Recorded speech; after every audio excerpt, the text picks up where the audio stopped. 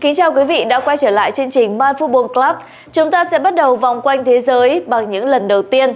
Dạng sáng nay, tạp chí Frank Football đã lần lượt công bố danh sách rút gọn 30 đề cử giải quả bóng vàng 2024 hay còn được gọi với cái tên quen thuộc là Ballon d'Or. Đáng chú ý khi cả Lionel Messi và Cristiano Ronaldo đều không có tên trong danh sách này. Messi và Ronaldo là hai ngôi sao đã có tổng cộng 15 lần được vinh danh trước đây. Cá nhân Messi đang giữ kỷ lục với 8 lần giành quả bóng vàng và cũng là người được trao giải năm ngoái. CR7 đứng ngay phía sau với 5 lần được sở hữu giải thưởng cá nhân danh giá này. Hiện tại, dù chưa từ giã sự nghiệp quốc tế, nhưng cả hai đều đã rời xa bóng đá đỉnh cao tại châu Âu. Vào dạng sáng nay, tạp chí France Football đã chính thức công bố các đề cử cho những hạng mục giải thưởng của quả bóng vàng. Trong đó, quả bóng vàng nam được công bố sau cùng với 30 cầu thủ như Vinicius Junior, Kylian Mbappe, Rodri, Jude Bellingham hay Lamine Yamal. Lần gần nhất danh sách đề cử không có Ronaldo hay Messi là năm 2003, lúc tiền đạo người Bồ Đào Nha vừa chuyển sang Man United, còn tài năng Argentina vẫn chưa ra mắt đội 1 Barcelona. Năm 2004, Ronaldo lần đầu được đề cử của bóng vàng đứng đồng vị trí 12 chung cuộc với Milan Baros, mở ra chuỗi 19 năm liên tiếp đề cử có tên Anh hoặc Messi. Ronaldo vẫn đang giữ kỷ lục 18 lần được đề cử của bóng vàng, còn Messi cũng 16 lần xuất hiện trong danh sách này. Vào năm ngoái, Ronaldo lần đầu không được đề cử sau 20 năm, còn Messi đoạt quả bóng vàng. Theo sau là bóng bạc Erling Haaland và bóng đồng Kylian Mbappe. Hai siêu sao bóng đá vắng mặt ở quả bóng vàng cũng không phải bất ngờ vì họ đều không còn chơi ở châu Âu. Cả 30 cầu thủ đề cử của bóng vàng 2024 đều đang chơi cho một câu lạc bộ thuộc 5 giải vô địch quốc gia hàng đầu châu Âu. Ronaldo đã 39 tuổi, không ghi bàn nào tại Euro 2024, còn Messi 37 tuổi cũng không quá nổi bật khi Argentina vô địch Copa America. Có một cầu thủ là đồng đội của Ronaldo được đề cử, đó là tiền vệ người Bồ Đào Nha Vitinha đang khoác áo Paris Saint-Germain. Trong khi Messi có hai đồng đội trong danh sách này là thủ môn Emiliano Martinez và tiền đạo Lautaro Martinez, đều của Argentina. Tiêu chí bình chọn giải vẫn theo ba yếu tố, gồm màn trình diễn cá nhân, thành tích tập thể trong mùa giải 2023-2024 và đẳng cấp. Theo những số liệu phân tích của trang báo lớn, Vinicius và Rodri đang có nhiều cơ hội hơn cả để đoạt quả bóng vàng, nhưng nhiều người hiện đang đánh giá cao Rodri hơn một chút vì cầu thủ này đã chơi cực hay tại Euro 2024 để đưa Tây Ban Nha lên ngôi vô địch. Nếu giành giải, Rodri cũng sẽ là cầu thủ ngoại Anh đầu tiên đoạt quả bóng vàng kể từ Ronaldo năm 2008 cùng Manchester United. Ở các hạng mục khác, bất ngờ lớn nhất có lẽ là thủ môn Ronwen Williams được đề cử giải Yasin dù đang chơi bóng tại Nam Phi. Huấn luyện viên Xabi Alonso có nhiều cơ hội thắng giải khi giúp Bayer Leverkusen vô địch Bundesliga bằng thành tích bất bại. Còn ở giải cầu thủ trẻ nam dưới 21 tuổi, tiền đạo trẻ Lamine Yamal gần như chắc chắn được vinh danh sau những màn trình diễn quá đẳng cấp suốt một năm qua. Lễ trao giải của bóng vàng 2024 sẽ diễn ra vào ngày 28 tháng 10 năm 2024 tại nhà hát Châtelet ở Paris, Pháp. Messi đang giữ kỷ lục giành 8 bóng vàng, còn Ronaldo đứng thứ hai với 5 giải. Còn lại, hiện vẫn chưa có bất cứ cầu thủ nào sau thế hệ 8X đoạt giải thưởng này. Vậy nên gala trao giải năm nay có thể coi là một màn chuyển giao thế hệ. Đây là lần đầu tiên sau hơn 2 thập kỷ, cả Messi và Ronaldo đều không có tên trong danh sách đề cử quả bóng vàng. Lần gần nhất, bộ đôi này đồng thời vắng mặt là cuộc bình chọn năm 2003. Nhiều người cho rằng đây có lẽ là dấu chấm hết cho giai đoạn thống trị của Messi và Ronaldo trong cuộc đua quả bóng vàng.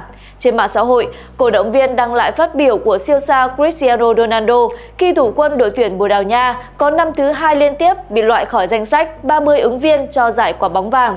Dù xét về thành tích cá nhân thì anh có một mùa giải rất nỗ lực và xuất sắc trong màu áo Anas. Trong cuộc phỏng vấn với tờ Record ở Bồ Đào Nha diễn ra vào năm ngoái, Cristiano Ronaldo, người bị loại khỏi danh sách 30 ứng viên cho giải quả bóng vàng 2023, đã chỉ trích những giải thưởng cá nhân danh giá nhất của bóng đá, bao gồm quả bóng vàng và FIFA The Best. Cựu tiền đạo Real Madrid cho rằng, quả bóng vàng và FIFA The Best đang mất dần uy tín. Không phải nói rằng Messi không xứng đáng, hay Haaland, hay thậm chí Mbappe, nhưng những con số thống kê ở đó và những con số không bao giờ lừa dối. Bạn phải xem xét toàn bộ mùa giải.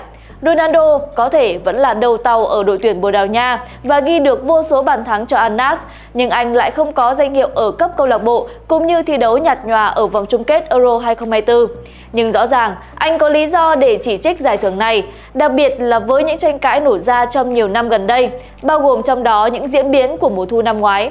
Người vừa mở tài khoản bàn thắng cho màu áo mới tại La Liga vừa qua là Kylian Mbappe, từng được coi là tấm gương của sự chịu đựng theo cộng đồng mạng. Buổi lễ năm ngoái được miêu tả là Mbappe không nhận được bất cứ giải thưởng quan trọng nhất, nhưng lại rất hay được camera cho lên hình. Và đỉnh cao của sự khó xử đến khi mà Emiliano Martinez nhận giải thủ môn xuất sắc nhất. và màn hình lớn thì cứ chiếu đi chiếu lại pha cản phá để đời của anh ở hiệp phụ chung kết World Cup 2022. Nói thật, tình huống này, fan hâm mộ của Argentina, nhiều người còn không muốn xem lại, chứ đừng nói là Mbappe và người thầy De Trump. Nhưng đó chỉ là một trong những câu chuyện gây tranh cãi tại lễ trao giải quả bóng vàng. Novak Djokovic đang đánh giải tại Paris được mời ngay về công bố cái tên đoạt danh hiệu quả bóng vàng nữ. Djokovic đã từng đứng lên tuyên bố quần vợt nam xứng đáng nhận được nhiều tiền hơn của vợt nữ và bị chỉ trích rất nhiều vì quan điểm này.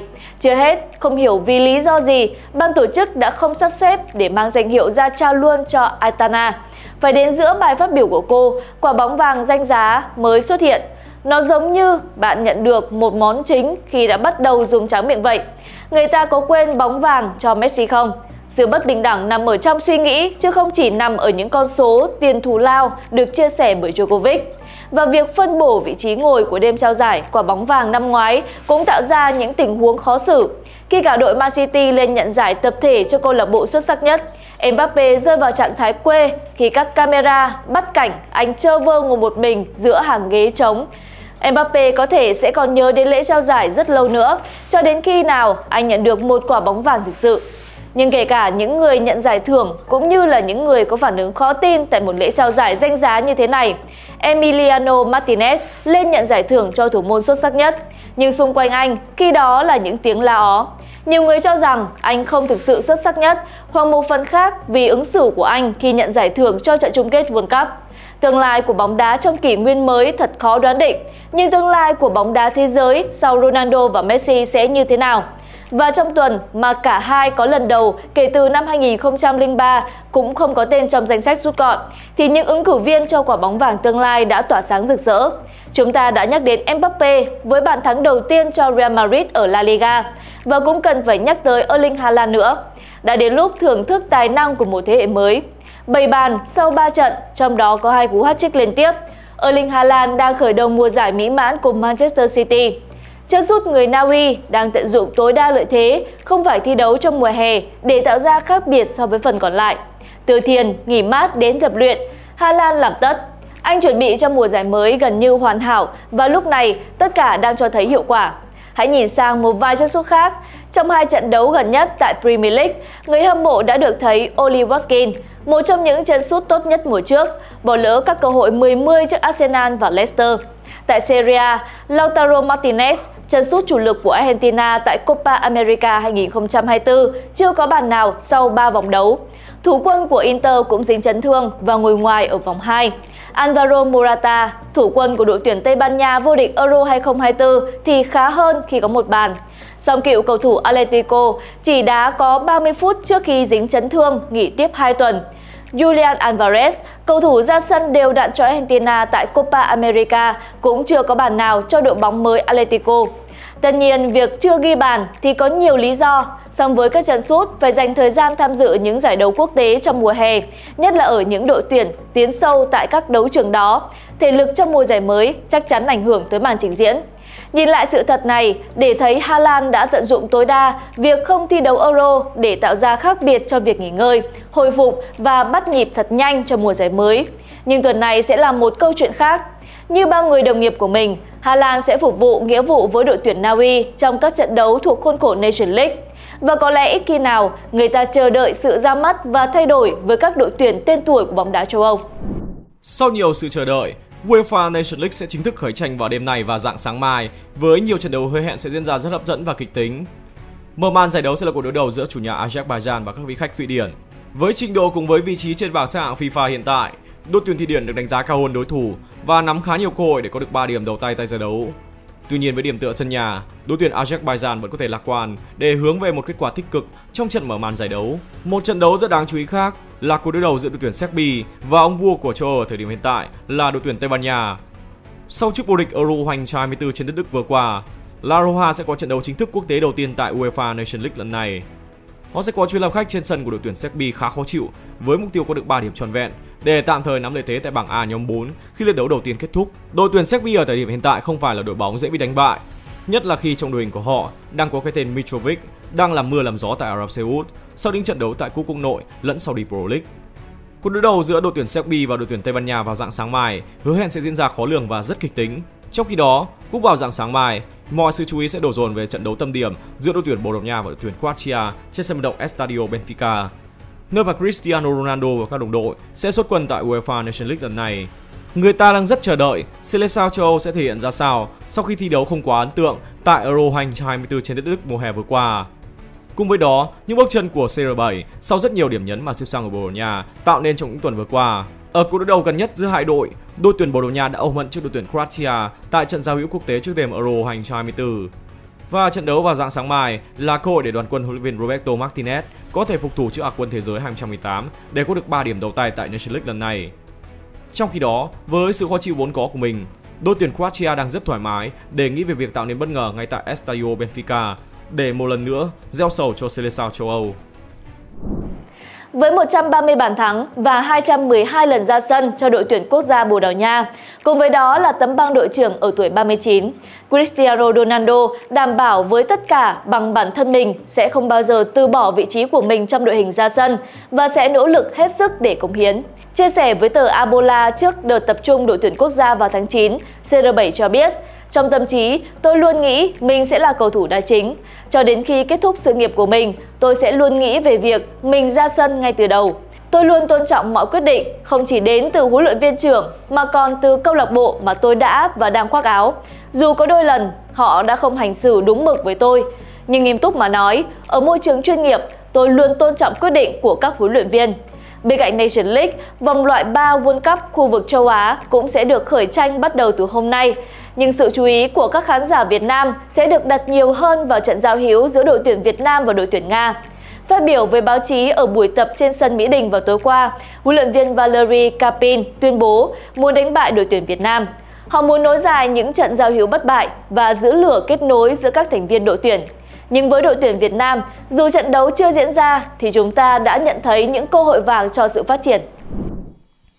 Đã 3 tháng kể từ khi vòng loại thứ hai World Cup 2026 khép lại, người hâm mộ Việt Nam giờ đây lại sắp được giải khấn khát xem đội tuyển quốc gia thi đấu tại LP Bank Cup 2024.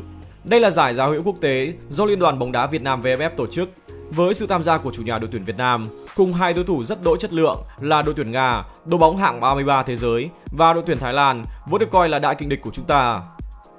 LP Bank Cup 2024 sẽ là dịp để đội tuyển Việt Nam tích lũy điểm số và cải thiện thứ hạng trên bảng xếp hạng FIFA. Đương nhiên, đây là trong trường hợp chúng ta có được kết quả tích cực. Tuy nhiên, điểm số không phải là mục tiêu duy nhất mà thầy trò huấn luyện viên Kim Sang Sik hướng tới ở dịp FIFA Day lần này. Nhắc đến các trận đấu giao hữu thì đương nhiên những sự thử nghiệm sẽ lên ngôi. Việc được so tài với hai quân xanh chất lượng, đặc biệt là đội tuyển Nga, sẽ là cơ hội để các cầu thủ đội tuyển Việt Nam cọ sát, nâng cao kỹ năng và chiến thuật. Bên cạnh đó, LP Bank Cup 2024 cũng là cơ hội để huấn luyện viên Kim Sang Sik đánh giá, sang lọc lực lượng để hướng tới một trong những giải đấu quan trọng bậc nhất trong năm, đó là AFF Cup 2024.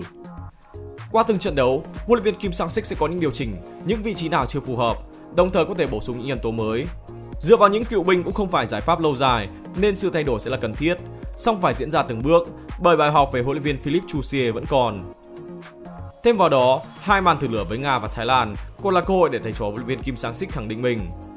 Ở dịp ra mắt cũng như đợt hội quân lần này, vị trí lực gia người Hàn Quốc vẫn chưa có nhiều sự đột phá trong cách tuyển chọn cũng như sử dụng nhân sự. Vẫn là những con người đã quen mặt quen tên dưới hai triều đại người tiền nhiệm lại được triệu tập và tin dùng dưới thời thầy Kim. Và thật không quá khi nói, ông thầy người Hàn Quốc vẫn còn khá an toàn. Cũng dễ hiểu và cần thông cảm, bởi có lẽ huấn luyện viên Kim Sang Sik vẫn cần nhiều thời gian hơn để tuyển quân cũng như xây dựng một bộ khung ưng ý. Quan trọng và cao cả không kém, đội tuyển Việt Nam cũng đang hướng tới một kết quả tích cực trong dịp FIFA Day lần này để tìm lại niềm tin nơi người hâm mộ. Xuyên suốt triều đại của huấn luyện viên Philippe Chusier, niềm tin của người hâm mộ dần hao mòn sau những thất bại của đội tuyển. Mọi thứ đã trở nên khởi sắc hơn sau màn trình diễn ở hai màn ra mắt dưới thời của huấn luyện viên Kim Sang Sik. Và giờ đây, một kết quả tích cực nữa sẽ như một cú hích lớn để kịp thời khơi dậy thứ niềm tin từng có thời gian nguội lạnh. Đồng thời giúp đội trò huấn luyện viên Kim Sang Sik từng bước xây chắc cái móng về lòng tin yêu nơi người hâm mộ nước nhà. Chúng ta phải làm quen với áp lực tổng lực từ những đội bóng mạnh hơn. Chúng ta cần tạo ra áp lực đối với những đối thủ trên tầm bằng một thái độ chủ động. Và thêm nữa, chúng ta cần những cột mốc, con đường để đến cái đích lớn hơn. Những trận đấu lớn với đối thủ lớn sẽ định vị tầm vóc lớn. Và giờ, một đội bóng lớn đã đến thì trong tương lai, những thương hiệu mạnh sẽ tiếp tục chọn đội tuyển Việt Nam là đối tác. Đó thực sự là thời cơ của nền bóng đá. Còn bây giờ là lúc My Football Club tuần này phải nói lời chia tay với quý vị. Hẹn gặp lại vào tuần sau với những điểm nhấn nổi bật nhất của bóng đá.